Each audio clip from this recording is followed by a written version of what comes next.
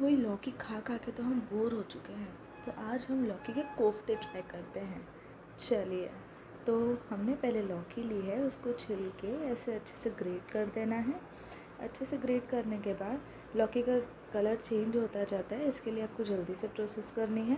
फिर इसका हम पानी निकाल देंगे अच्छे से। अच्छे से पानी पूरी लौकी का निकालना है। देखिए, इस तरीके से पानी बिल्कुल नहीं होना चाहिए। क्योंकि लौकी में बहुत पानी होता है। इसमें हम फिर बेसन डाल देंगे। बेसन भी हमको अच्छे से डालना है क्योंकि हम इसमें मैश करने वाले हैं। तो गीला गीला ऐसे इतना ज़्यादा नहीं होना चाहिए। गीला तो होता है पर इतना ज़्यादा नहीं होना चाहिए। उसके ऊपर फिर नमक डाल देंगे। उसके ऊपर फिर लाल मिर्च डाल दी है हमने। इसको अच्छे से मैश कर लेंगे। अगर थोड़ा, अगर गीला बहुत ज़्यादा लग रहा है तो थोड़ा और आप बेसन मिला सकते हैं। उसके बाद हमारा बैटर ये देखिए, इस तरीके से हो जाएगा। ये भी गीला ही है। इस तरीके से हमारा बैटर हो जाएगा।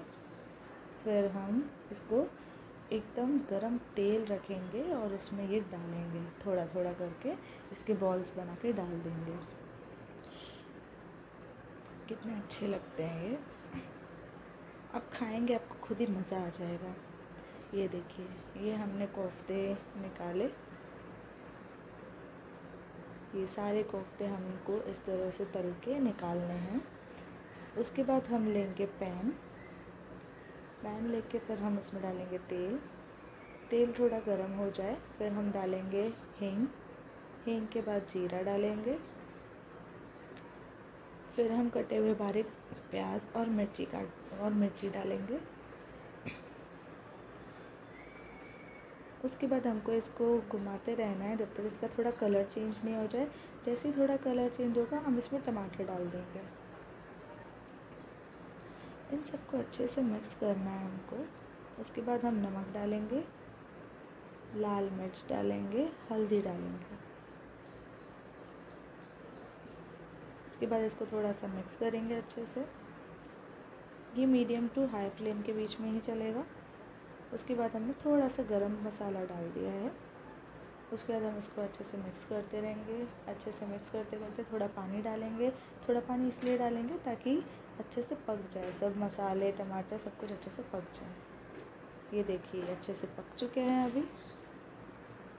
ये देखिए, एकदम नरम हो चुके हैं, पक चुके हैं। अच्छे से मसाले भी, टमाटर भी सब कुछ। अब हम इसमें पानी डाल देंगे। पानी इसमें आप आ, अपने अकॉर्डिंग डालिएगा क्योंकि जब कोफ्ते डालेंगे तो कोफ्ते जो है ना वो पूरा पानी सोख लेते हैं। तो ये कोफ्ते डालें उसके बाद आपको पानी का भी अंदाज़ा हो जाएगा तो आप थोड़ा पानी और ऐड कर सकते हैं। अगर आपको लगता है तो अगर आप थोड़ा पानी वाली सब्ज़ी खाते हैं तो आप ऐड कर सकते हैं। उसके ऊपर हमने ये कोरिएंडर लीव्स डाल दी मतलब धनिया डाल दिया है और हमारी कोफ्ते की सब्ज़ी रेडी हो चुकी है। देखिए कितनी शानदार लग रही है है ना? घर पे इसको ज़रूर ट्राई कीजिए और मुझे कमेंट्स में बताइए कि कैसी बनी। Thank you all thank you for watching my video